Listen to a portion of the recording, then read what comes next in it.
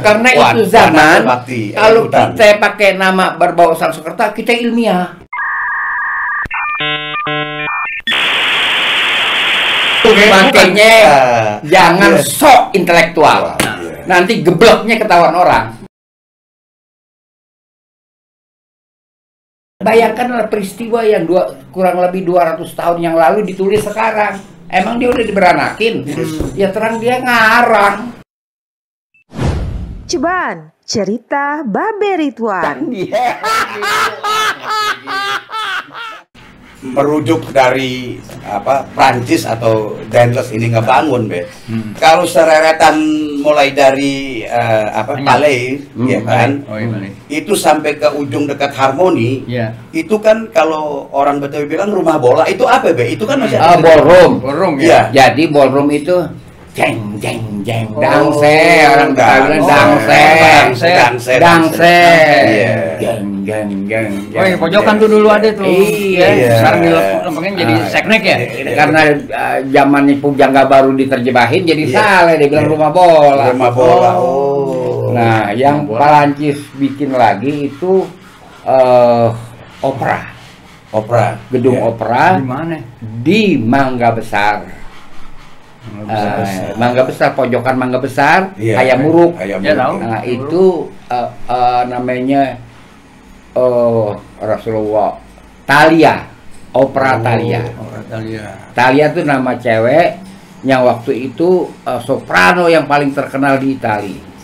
Jadi ada orang kaya ajak dia kemari. Hmm. Ya kan, dia bikinin itu opera. Opera. Hmm. Lame-lame dia naksir Iya. sama si Talia, Talia ini. ini.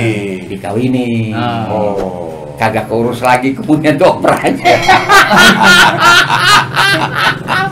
Lalu jadi gedung bioskop Itali, Iya, eh, iya. Italia. Italia. Iya, Itu dia bikin. Iya, iya. Prancis tuh yang Iya, bikin. iya, iya, Prancis. Ingat. Jadi banyak ya Prancis ya. Oh, banyak. Banyak Prancis ya. Di Surabaya pun mbak ada, bukan Iya. di Jakarta doang. Oh. Surabaya juga ada, yang semacam lapangan banteng. Iya. Iya. Itu dia bikin. Ya ada ada. Oh. Bayang. Itu Prancis juga tuh. Prancis juga. Ya. Begitu. Salah aja main Belanda. Oh, kagak Benar, Belanda. Orang taunya Belanda ya. Pak.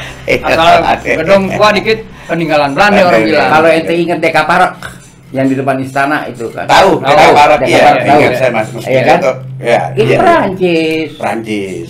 Oh. Parok Kan Prancis. dibongkar tuh. Iya. Dibongkar. Iya, iya, iya. Buat Monas. Iya, buat Iya, Monas. Iya. Itu Prancis. Barat. Di situ juga kalau nggak salah, saya ngalamin ada hop biru, Biru. tuh?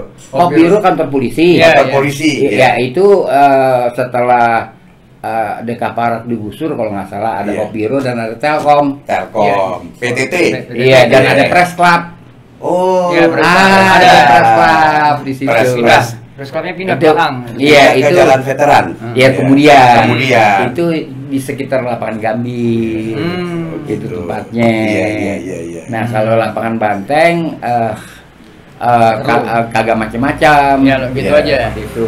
Gitu ya. Begitu. Iya. Nah jadi eh, Belanda sebenarnya datang ke sini Hmm. eh, 1602, Hmm.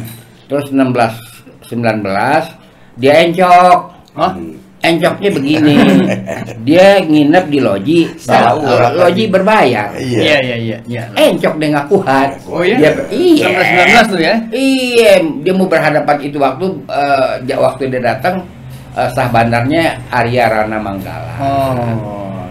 Arya itu dia punya eh, ras yang datang dari perbatasan Asia Minor dengan India. Hmm. Rana itu artinya rabi. Iya. Oh, Rabi. Rabi. Rabi. Rabi, Oh. Manggala artinya kalung tasbih. Ah. Makanya saya heran ada gedung namanya Manggala Warna Bakti. Gedung tasbih dong. Eh, A- artinya kalung tasbih hutan bakti bagaimana cara memahaminya oh iya. karena Wan- itu zaman Bakti, eh, kalau hutan. kita pakai nama berbau Sanskerta kita ilmiah Oh. oh, ilmiah kita Oh, keren ya. oh scientific tuh Scientific. nggak peduli artinya emangnya kita kagak belajar apa Iya. tentang Sanskerta Intelektual banget lah Iya, seolah-olah. Seolah-olah. Dikira orang lain kagak belajarin. Kita pelajarin dong. Taunya kok ini kalung tas, Tas be. be. kalung tas be, hutan berarti. Iya. Warnanya dia- bener hutan ya. Hutan. Hutan. Tapi kalau begitu jadi Manggala warna bakti, Kalung tas kalung berbakti. Iya, hutan, gedung hutan, kalung tas Itu di, di bulak balik juga kita puyeng. Iya, iya, iya. Ada lagi satelit palapa. Iya. Oh, ya. Ah. Satelit Palapa palapa. kan daun min. Iya. Oke. Kalau ente rebus, Ya. minum airnya badan anget. Iya, iya, iya. Apa urusannya? Iya. Satelit, ruang angkasa, teknologi luar biasa, ame daun-daunan. Nah. Nah, Emang dia mau ngelalap? Nggak nyambung ya. Makanya jangan Iya. sok intelektual. Iya. Nanti gebleknya ketahuan orang. Oh. palapa dipikir perjanjian palapa Ah, kali. iya, Sumpah tapi sumpah palapa. palapa, Sumpah palapa. sumpah palapa yang buat itu adalah eh, apa namanya babat eh, yang ditulis 1600 Hmm. Sumpah Gajah Mada. Tararaton namanya. Iya. Oh. Sumpah Gajah Mada 238 sebelum 238 tahun Sebelum- sebelum, Pararaton ditulis. Ya terang dia ngarang.